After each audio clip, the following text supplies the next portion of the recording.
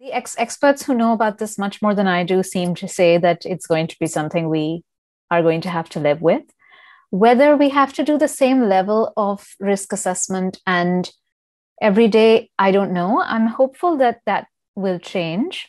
But I think a small level of risk assessment is something we would do anyway, um, especially if we're vulnerable because of a condition like blood cancer, or if we live with somebody who's vulnerable because of blood cancer. Uh, so thinking about this as similar to that can be helpful, although I appreciate the specific threat is different. But the way our mind deals with it can be similar. And we, we know this from other anxieties. I mean, the other thing to remember is I'm very hopeful listening to this conversation. I've learned so much from listening to Sian and Allison. Um, you know, a year ago, we didn't, nobody thought that there would be multiple vaccines available within a year of this pandemic. Uh, of us knowing about this pandemic and the specific threat. And there's a lot of hopefulness that even with regards to the uncertainty about the vaccine efficacy, it sounds like actually maybe we can't say how soon, but there will be data available based on research with blood cancer patients.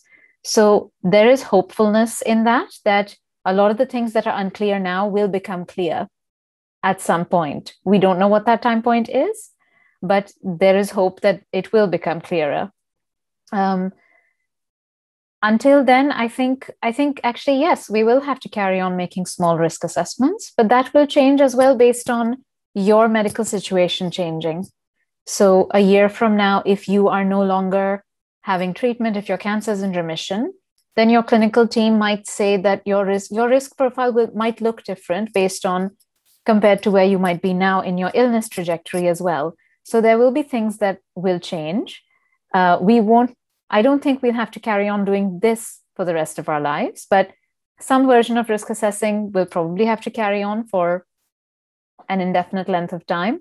But remember that we are we are quite good at doing that as human beings. And i think unfortunately living under so many so much data being thrown at us so much information and so much instruction being thrown at us we've probably lost contact with that that that, that kind of our own rational ability to reason with facts and come to a conclusion of what feels right for me rather than what should I do?